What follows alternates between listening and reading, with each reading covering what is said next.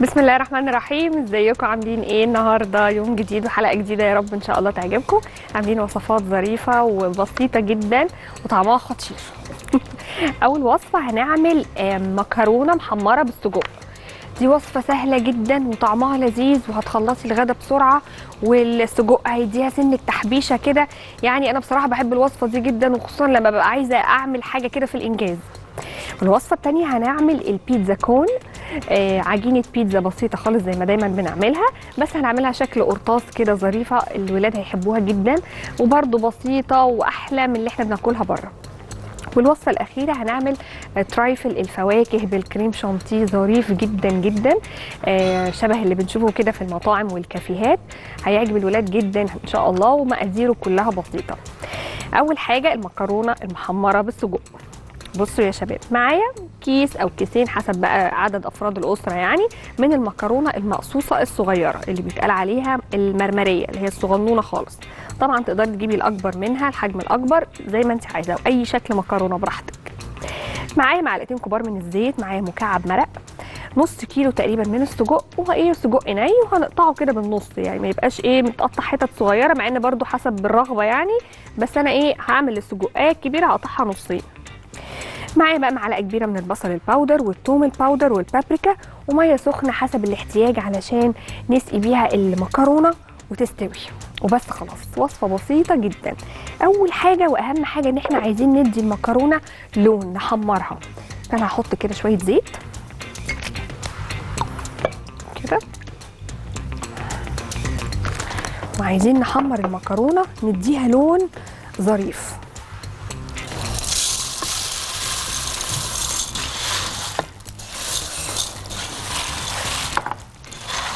كده دي كلها تاخد لون واحد حلو كده.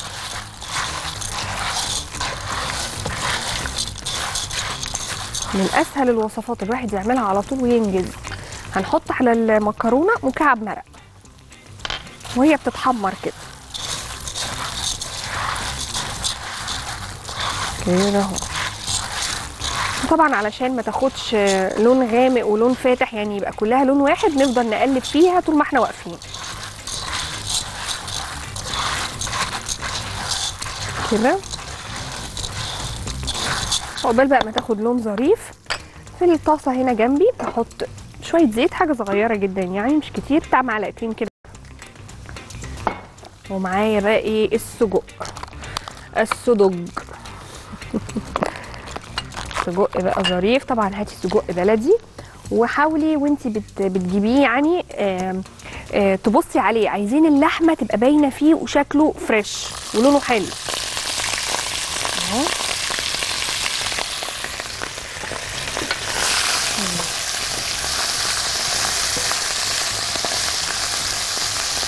هشوحه بس كده وارجع تاني للمكرونة.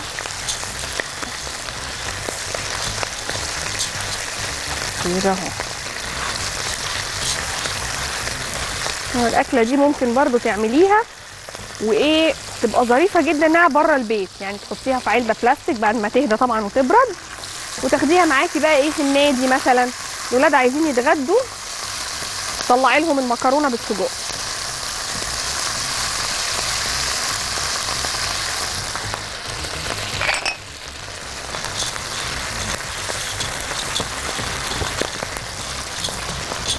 يعني طرطشة وفظيعة. أهو. نحمر المكرونة. طبعا المكرونة المرمرية الصغنونة دي بتبقى أحلى نوع مكرونة يتحمر. يعني الأنواع اللي بتبقى المكرونة أشكال تاني أو حاجات أكبر من كده في الحجم بتبقى ظريفة برضو كل حاجة بس أنا بحب قوي ال- المكرونة الصغنونة دي. لما بتتحمر بيبقى شكلها أحلى.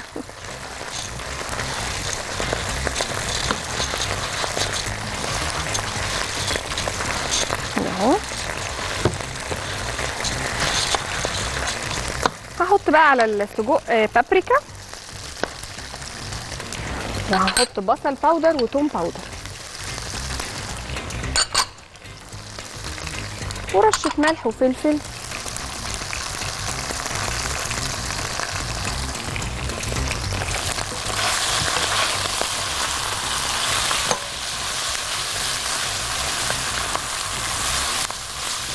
للأسف السجق اللي معايا دوت نوعه مش حلو.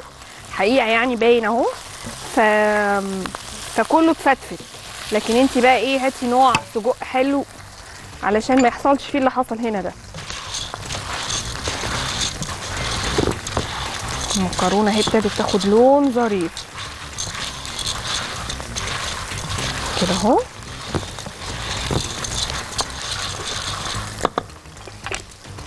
أيوه يا سجق. ده ريحتك حلوة صحيح بس شكلك مش عاطفي. هو إيه يعني؟ قلب لحمة مفرومة.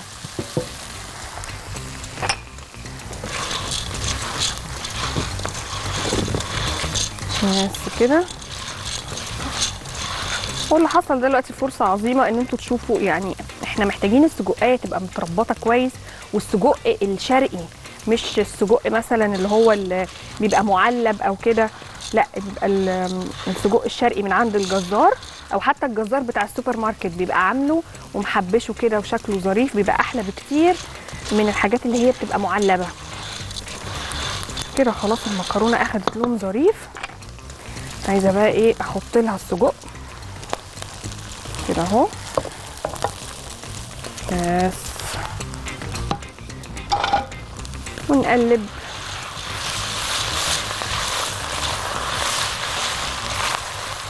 كده اهو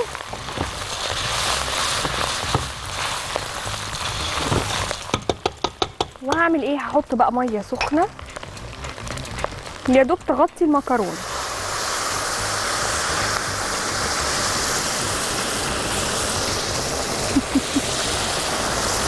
بس كده. هنحط رشة ملح وفلفل برضو حاجة بسيطة. واقلب كده. بس.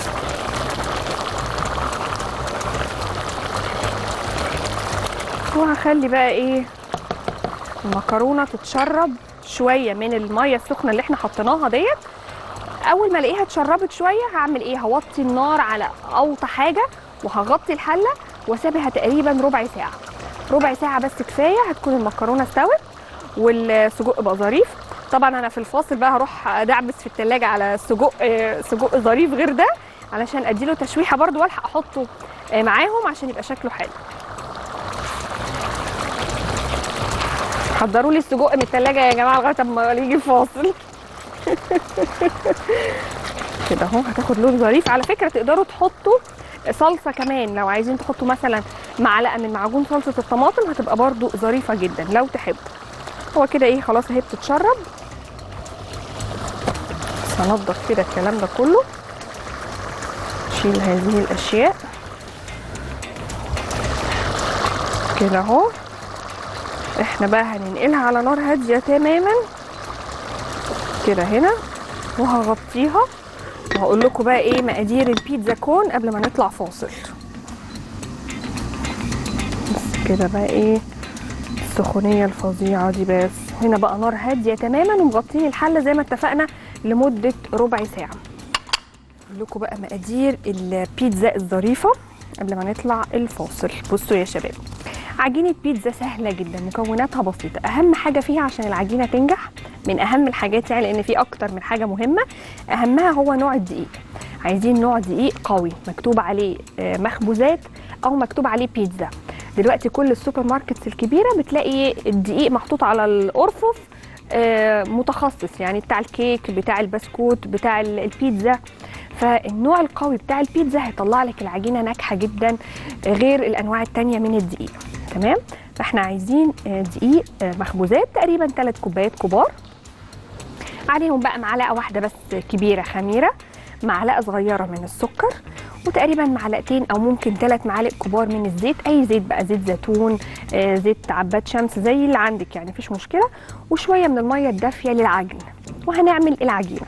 بالنسبة للحشوة بقى معايا فلفل ألوان طبعا بيتزا بقى فلفل ألوان جبنة موتزاريلا معايا بيبروني حجمه صغير بيبروني أو سلامي أو بسطرمة أو فراخ أو لحمة يعني كل دي أي حاجة تحبي تحطيها على البيتزا من فوق مفيش مشكلة.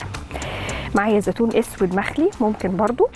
وهنعمل بقى إيه؟ صوص البيتزا اللي طبعا في ناس كتير جدا عندها مشكلة مع صوص البيتزا. هنعمله بأسهل طريقة طريقة أنا بعملها من زمان جدا وتحفة. ومن غير بقى إيه؟ ما نقعد نقطع خضار ونقطع ونضرب في الخلاط والكلام ده كله. آه سهلة جدا. هنعملها بصوص طماطم بيتي هاينز. آه ظريف جدا وصيفي كده يخلص لنا الموضوع هوا. عبارة عن تقريبا كوباية من صوص الطماطم آه، هاينز. معاها معلقة كبيرة من البصل ال powder توم powder معاها بابريكا ملح وفلفل زيت وهنحط كمان زعتر fresh بس كل ده على النار يبقبق كده ويبقلل. لو احتاجنا نحط معلقتين من المية مثلا ممكن نعمل كده بس مش هنحتاج لأن صوص الطماطم هو الصوص أساسا مش تقيل. فبالتالي مش هنحتاج نخففه ابدا بمية ولا حاجة وهيبقى عندنا صوص بيتزا طعمه وريحته فظيعة زي المعلب اللي بنشتريه في ارفف في السوبر ماركت يبقى مكتوب عليه صوص بيتزا. هو ده بالظبط يعني وأحلى كمان. بتقدري تعملي حتى منه كمية شوية وترجعيها تاني في في الإزازة وتحطيها في التلاجة. وقت ما تحبي تعملي بيتزا تطلعيها أو تشيليها في الفريزر في علبة أو في كيس بلاستيك عشان يبقى سهل عليكي وهو مجمد تقدري تفكي منه وتستخدمي في أي بيتزا في أي يوم عايزة تعملي فيه بيتزا. وبس خلاص. إحنا ممكن إحنا عندنا وقت لسه ممكن أعجن العجينة. عندنا دلوقتي فاصل خلاص okay. خلاص هروح أشوف سجق تاني بقى دلوقتي حالا في الفاصل ونرجع بقى عشان نعمل العجينة ونعمل البيتزا cone. خليكم معانا إن شاء الله سوف أعود.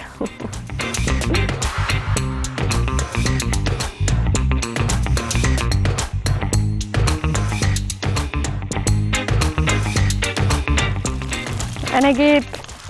وعملت شوية سجق تاني برضه. احطهم كده من فوق. وأقلبهم مع المكرونة. بس كده. كده ونشيل بقى الطاسة دي. بصوا بقى إيه. اديهم كده تقليبة مع المكرونة تقليبة ظريفة. ونخليها تكمل تسويتها بقى براحتها خالص. بس كده. يلا بقى نعمل عجينة البيتزا. أقول لكم تاني بسرعة المقادير. معايا 3 كوبايات من الدقيق دقيق قوي اللي هو بيبقى مكتوب عليه بيتزا أو مخبوزات. تمام؟ معايا معلقة كبيرة من الخميرة معلقة صغيرة من السكر ثلاث معالق كبار من الزيت أي زيت مفيش مشكلة اللي موجود عندك.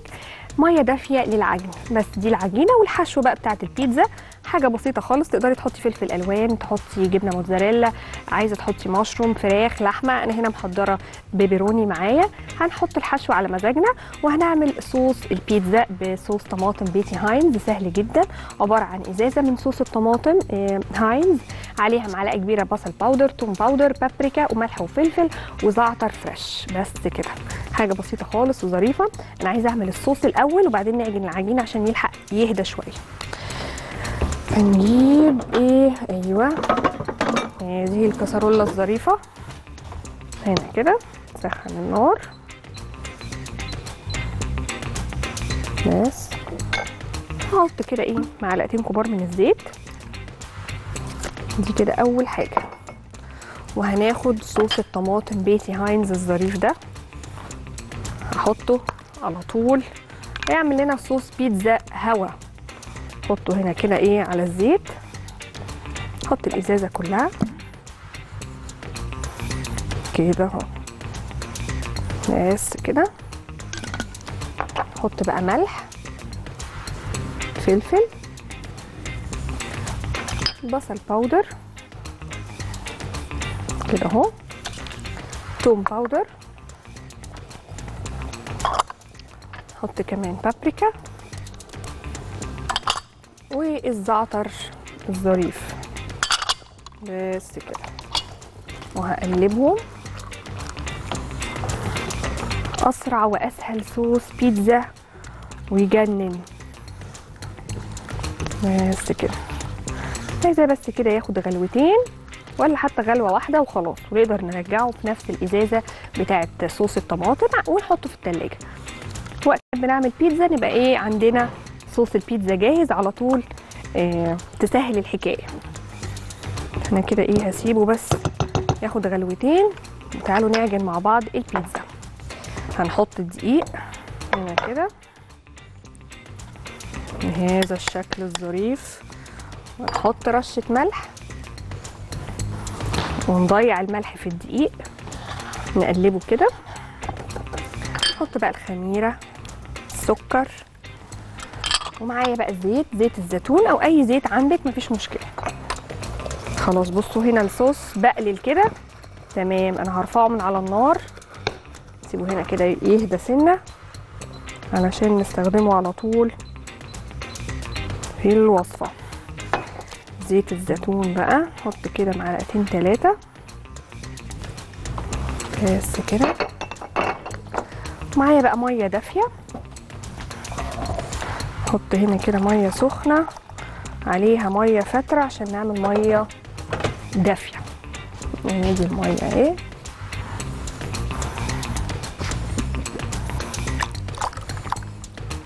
بس كده.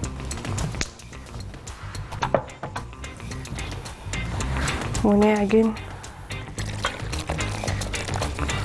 ونلم العجينة. ما تزوديش قوي في المية خليكي مسيطرة.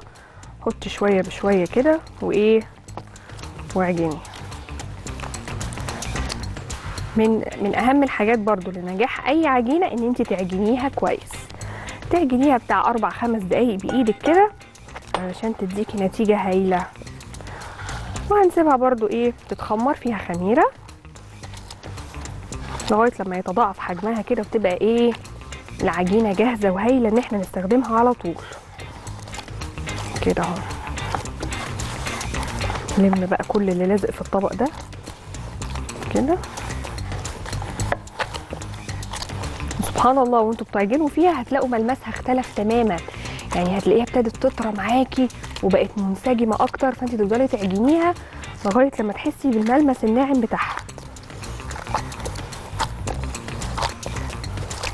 تمام؟ وزي ما اتفقنا هنغطيها ونسيبها في مكان يعني من غير ما تسيبيها في أي مكان الجو حر. انت هتلاقيها في 20 دقيقة بالكتير بقلظت كده وبان عليها إنها إيه بقت خمرانة وظريفة وجاهزة. فأنا كده إيه هنجيب بقى العجينة الخمرانة ونرجع الكلام ده كله هنا. إحنا حاطينها في التلاجة. ماشي؟ أهو. لما بنبقى عاملين العجينة من بدري يفضل طبعا بعد ما يعدي عليها ساعة بره التلاجة إن إحنا نحطها في التلاجة عشان ما تبصش كده؟ نلم بقى هذه الأشياء نوسع مكان ونجيب عدة العجين وأنا شامة ريحة المكرونة والسجق. ظريفة جدا. كده أهو. نفرد آه الموضوع كده ونجيب شوية دقيق بقى هنا نحطهم كده نفردهم ونجيب بقى العجينة الظريفة ناخد منها كده حتة عشان اوريكم الفكرة. كده.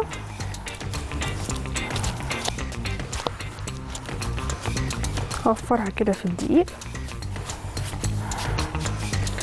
إحنا ممكن نعمل لها أكتر من يعني من من حركة. هوريكم حاجة. الفكرة كلها إن أنا إيه معايا الومنيوم فويل على شكل قرطاس وهلف عليه العجينة. هقول لكم دلوقتي حالا إزاي. كده. يعني كمان شكلها هيخلي الولاد يحبوا ياكلوها هما كده كده بيحبوا البيتزا فلما تعمليها لهم بقى بشكل كمان آه لطيف هيحبوها أكتر. وتخبي فيها بقى الخضار اللي انت عايزاه كله. وفيها جبنة فهتتاكل. كده اهو. وكده اهو. تمام. عايزة بقى إيه إحنا ممكن نجيب اوريكم مثلا. ده كده اهو. قرطاس من الالومنيوم فويل. تمام؟ علشان ده هيبقى الفورمة اللي إحنا إيه نلف عليه العجينة ونقدر نعمل البيتزا كون. تمام؟ عايزة أجيب سكينة. وهقطع بقى إيه العجينة دي كده بالطول. بالشكل ده. كده أهو.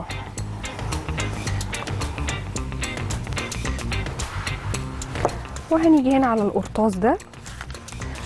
مهم بقى جدا إن أنا إيه أعمل قاعدة كده إيه مقفلة فاهمين قصدي؟ وبعدين إيه أبتدي ألف العجينة كده. بهذا الشكل الظريف. كده. والحتة الزيادة بقى دي بنلزقها بمية عشان نتأكد إنها مش هتفك.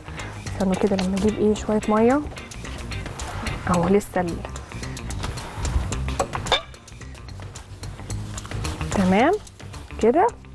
وبمية. علشان إيه؟ آه تلزق ما نلاقيهاش عملت بق كده في الفرن واتفتحت.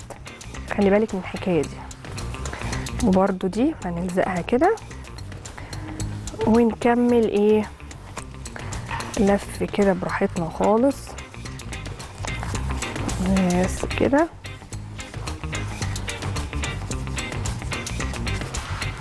وبرده إيه هنقفلها بمية في الآخر. بس كده. شكرا يا نهى. بصوا ده كده هيبقى شكلها. تمام؟ وهنعمل إيه بقى؟ هندخلها الفرن. هندخلها الفرن إزاي؟ لو دخلناها وهي نايمة كده القاعده اللي تحت دي هتلون وتبقى مبططة. فاحنا عايزين نحافظ على كل الشكل المدور بتاعها ده. فلما عايزين ندخلها الفرن هندخلها بالالومنيوم فويل وهو واقف كده. فاهمين قصدي بالشكل ده. تمام؟ هتدخل ال- الفرن هتاخد لون ظريف وإحنا طبعا إيه عاملين أكتر من واحدة دلوقتي عايزة أوريكم شكلهم. أهو. كده أهو. وإيه وبتشيلي الالومنيوم فويل من جوه وبتبقى العجينة من جوه مستوية زي ما أنتم شايفين. بصوا شكلها ظريف إزاي. واخدت لون حلو جدا. والفويل بنشيله بمنتهى السهولة ما بيبقاش فيه ابدا أي مشكلة. تمام؟ فهنعمل كده. فيهم ويبقوا كده جاهزين عندنا إن إحنا إيه نحط الحشوات اللي إحنا عايزينها. أي حاجة عايزة تحطيها وتحشي بيها هتبقى ظريفة. هنعمل إيه؟ أول حاجة خالص عايزة أحط في الكون من جوه لأن احتمال كبير تكون فيه سنة خرم ولا حاجة فمش عايزة أبتدي بالصوص البيتزا علشان ما يقعش. أول حاجة هنحط جبنة موتزاريلا كده حبة صغيرين هنعتبرهم زي الصمغ لأن هم لما هيسيحوا هيقفلوا القاعدة اللي تحت بتاعة الكون. تمام؟ وبعد كده بقى معايا صوص البيتزا اللي عملناه حالا بصوص طماطم بيتي هاينز ظريف جدا. هناخد كده منه وندخل جوه الكون. بصوا. نحط كده إيه معلقة بيتزا ولا حاجة من جوه. تمام؟ وعندنا بقى خضار. فلفل الوان كده زي ما إحنا عايزين نحط. كده اهو. وبعد كده بحط برضو جبنة موتزاريلا من فوق. كده. ومعايا بقى إيه من فوق بنحط البيبروني المتقطع صغير. هنحطه هنا من فوق. وبندخله الفرن وهو واقف هوريكم المنظر برضو فكرة إن إحنا نرجع ندخله الفرن تاني إزاي وهو واقف كده. بصوا. أهي الصينية بتاعت ال English cake حطينا عليها الومنيوم foil. وإيه عملنا كده إيه يعني دخلنا عملنا حفرة كده في الالومنيوم foil فبقى بيدخل الكون وهو واقف كده. عشان بس إيه ندخله الفرن والجبنة تسيح. بصوا كده. فتحة كده في الالومنيوم فويل جوه الصينية. فيقدر يدخل الفرن وهو واقف كده يا دوب بس إيه الجبنة تسيح وتاخد لون ظريف ويبقى بقى بصوا الكون لطيف إزاي. والولاد بقى يمسكوه ياكلوه خطير. تقدري تعملي منه الكمية اللي انت عايزاها وتاخديه معاكي بره البيت ظريفة جدا جدا جدا. بصوا سهلة خالص. طبعا دي إيه اللي إحنا إيه محضرين عشان نقدمها معاكم فاحنا ممكن إيه ما دام دول خلاص استووا نجيب لهم طبق نحطهم فيه علشان نحط الجداد بقى. كده نقدمها كده ودي هي لسه هحطها هنا. معايا البيبروني بقى اللي أنا قلت لكم عليه ده. أو ممكن لانشون يعني مفيش مشكلة لو عايزة. ومعايا قطاعه صغيرة كده عشان ده كان حجمه كبير شوية. ونبتدي إيه نقطعه كده صغنون. كده. نحطه بقى كده فوق الجبنة. هيبقى شكله بقى ظريف جدا. كده اهو. بص شكله حلو إزاي؟ اعملي بقى الكمية اللي انت عايزاها. يا دوب الفرن مش هيعمل أي حاجة غير إن هو هيسيح الجبنة. وإن العجينة تدخل قد إيه بقى العجينة دي نفسها اللي لسه ما حطينلهاش جبنة هتاخد لها تقريبا في حدود 10 دقائق أو يمكن حتى أقل 8 دقائق هتلاقيها أخدت لون معاكي بسرعة. وبس وصفة سهلة جدا وظريفة جدا هدخل الكون اللطيف اللي أنا عملته ده هعمل كام واحد كمان أدخلهم الفرن غير اللي خلصوا دلوقتي إحنا عندنا فاصل. وهنطلع فاصل هنطلع فاصل بسرعة جدا والم هذه الأشياء والحركات عشان نعمل بقى الترايفل بتاع الفواكه. مش قادرة أقول لكم خطير. إن شاء الله ونقدم مع بعض المكرونة بالسجق. آه سوف أعود إن شاء الله خليكم معانا.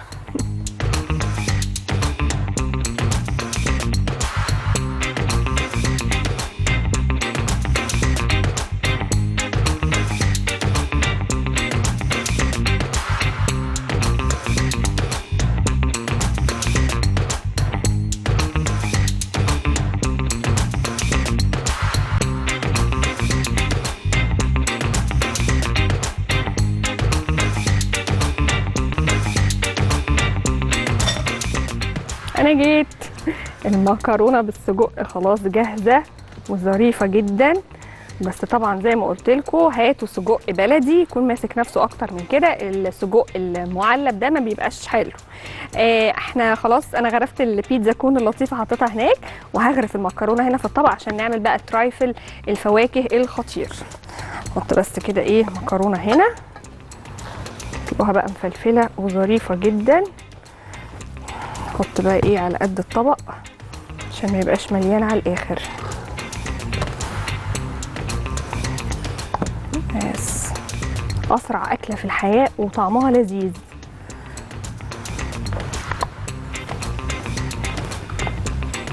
بس كده تقدري طبعا تضيفي لها أي خضار على فكرة يعني نفس الأكلة دي وتشوحي مع السجق زي ما إحنا شوحنا آه شوحناه يعني. ممكن تحطي أي خضار معاه أي فلفل ألوان. عايزة تحطي برضو آه مشروم هيبقى لطيف جدا. كده أهو. بس أنا هكتفي بهذا القدر. وبس إيه أوضب كده الطبق.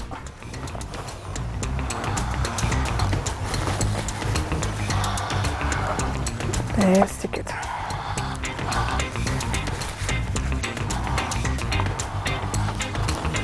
نلم كل اللحويس اللي إحنا لحوسناها دي. نحط بقى مثلا إيه ورقة بقدونس كده لطيفة من فوق لونها أخضر جميل تعمل شكل حلو. ونحط بقى الطبق هناك كده. بس كده. وخلصنا المكرونة بالسجق. هقول لكم بقى إيه مقادير وصفة trifle الفواكه. خطيرة جدا. بصوا معايا شوية من الفواكه المشكلة. أي فواكه مشكلة عندك هتنفع. آه في هنا تفاح وفي تفاح أحمر وتفاح أصفر عنب أحمر وعنب أخضر معانا كيوي.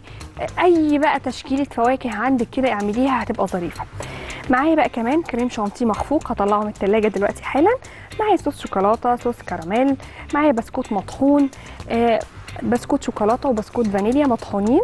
وكمان معانا آه شوكولاتة اللي هي المدورة اللطيفة دي. شكلها حلو قوي هنحطها كده من فوق. إن شاء الله الوصفة تعجبكم. وبس كده وصفة ظريفة جدا. أنا هعملها في كوبايات بلاستيك. بصوا الكوبايات دي بتتباع في كل حتة. ظريفة جدا. هعمل كده إيه الكوبايتين الحلوين دول ممكن نخليهم ثلاثة ماشي. احطهم كده جنبي. ظراف جدا. عايزة تعمليه طبعا في كوبايات عادي إزاز في البيت عندك مفيش مشكلة. بس هي كوبايات البلاستيك دي لطاف جدا للوصفة. هجيب الكريم شانتيه من الكريم شانتيه من التلاجة وأقول لكم بقى هعمل إيه. أيوه تعالى يا كريم شانتيه هنا. أول حاجة هنحط في الكوبايات شوية من الفواكه. نحط بقى إيه من كل حاجة كده شوية. استنوا اما نوزع عشان عايزة الألوان تبان. كده. مثلا وهنا كمان. أي تشكيلة فواكه بقى بتحبوها أو عندك متوفرة في التلاجة هتبقى ظريفة. ونحط بقى إيه مثلا نحط شوية من الكيوي.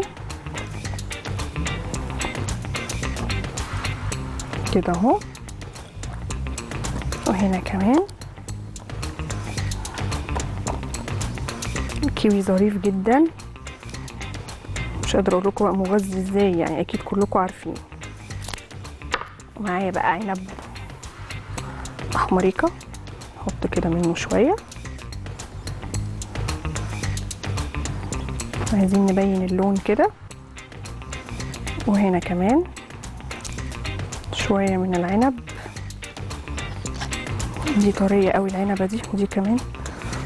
الطري قوي دوت تخلصوا منه يعني. كده. عايزة طبقة العنب تبقى باينة.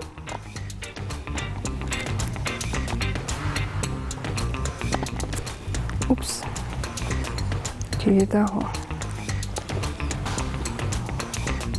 بهذا الشكل الظريف؟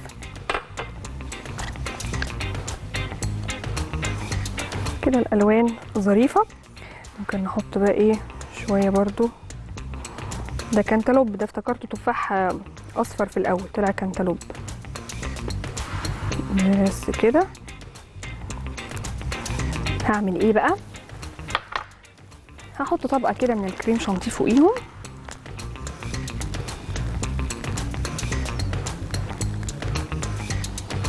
كده. طبقة رقيقة مش مش سميكة. كده. هنا برضو كده طبقة رقيقة. لو عايزة تحطي عسل أبيض على الفاكهة قبل ما نحط الكريم شانتيه من فوق ده كمان هيبقى ظريف برضو جدا. تمام؟ معايا شوية من البسكوت بقى المطحون. بسكوت الشوكولاتة المطحون. أحط منه كده. وهنا كمان. وهنا كمان. طبعا إن انت تعملي الكلام ده كله في في كوباية شفافة بتبقى أحلى علشان يبان اللي انت عاملاه كله. أحط كمان طبقة كده من الكريم شانتيه من فوق. برضو طبقة كده خفيفة. كده اهو.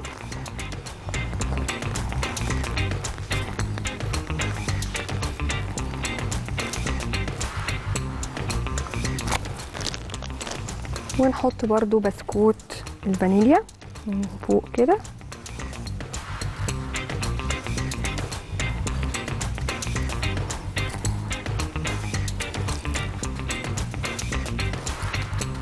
حقيقة إنها حاجة حلوة سريعة ولذيذة. كده. ومعايا بقى إيه كمان؟ كمان كريم شانتيه تاني من فوقيها. بس هيبقى بقى إيه؟ طبقة سميكة كده شوية.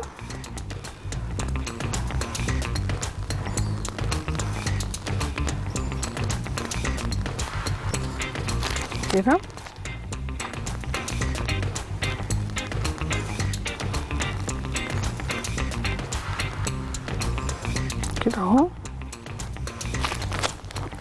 كمان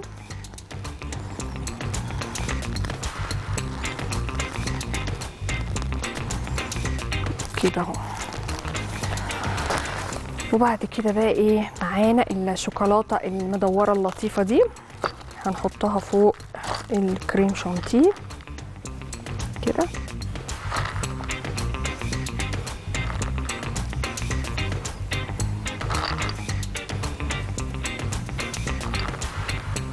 تبقى بقى يعني خطيرة. كده؟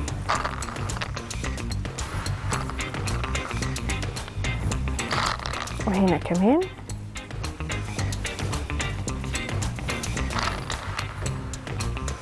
كده أهو. ممكن تحطوا أي نوع شوكولاتة تاني مش لازم الشوكولاتة المدورة دي.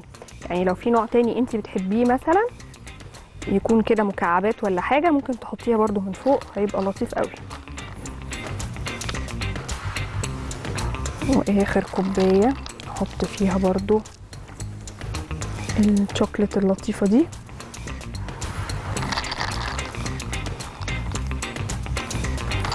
كده. أو بقى شوكولاتة ملونة مثلا أي نوع شوكولاتة تحبيه يعني مفيش مشكلة. الموضوع يعني هيبقى بتاعك بقى في الحكاية دي. أنا بحب الشوكولاتة دي جدا وشكلها هيبقى ظريف قوي مع اللي إحنا بنعمله ده. كده أهو. بس. كده أهو. كده أهو. آخر حاجة بقى هعملها إن أنا هحط عليها من فوق آه صوص شوكولاتة وابتدي أقدمها على طول بقى إن شاء الله. كده. من فوق. كده أهو. نعمل كمان هنا برضو صوص شوكولاتة كده لطيف. بس كده. ومعانا كمان صوص الكراميل. نحط برضو كده عليه شوية من فوق. دي بقى إيه موجودة في الكافيهات. طب ما إحنا نعملها في البيت أهو. تبقي غاسلة الفاكهة بقى وانت اللي عاملة الكريم شانتيه بنفسك. وكمان عندك اوبشن إن انت تختاري نوع الشوكولاتة اللي انت عايزاه وتشتريه. فبتبقى بقى إيه خطيرة جدا. نجيب بقى البتاع اللي إحنا هنقدم عليها كده نحطها هنا كده. نشيل الكوبايه اللطيفه كده. كده. بس كده. نحطها هنا كده. وبالهنا والشفا. إن شاء الله تجربوها وتعجبكم. الحلقة خلصت. نلحق بسرعة نقول إحنا عملنا إيه النهارده. عملنا ثلاث وصفات ظراف جدا ولذاذ كده في الجو الحار تقدري تعمليهم على طول وتتحركي بره البيت. أول وصفة عملناها المكرونة المحمرة بالسجق. وصفة سهلة جدا جدا هتعجب الولاد قوي لأن يعني المكرونة فيها محمرة وصغنونة كده وطعم السجق فيها كمان خطير. والوصفة الثانية عملنا البيتزا كون. بيتزا عادية خالص على شكل قرطاس. بس بتبقى ظريفة وحجمها حلو كده وشكلها يجوع. الولاد هياكلوها على طول فيها خضار وجبنة. فكرتها بسيطة خالص واستخدمنا فيها صوص طماطم بيتي هاينز. عملنا أحلى وأسرع صوص بيتزا. والوصفة الثالثه عملنا مع بعض trifle الفواكه بالكريم شانتيه فظيع والشوكولاتة. لذيذ جدا وسهل. وتقدري تعمليه بقى إيه حركات كده في كمان أكتر من كده يعني عايزة تضيفي بقى أي مكونات تانية آه تليق معاه هتبقى خطيرة. دخليه بس كده التلاجة عشان الصوص الشوكولاتة اللي عليه ده كده يمسك شوية ويهدى وبالهنا والشفا. يا رب تكون الحلقة عجبتكم واستنوني بكرة بقى إن شاء الله. باي باي.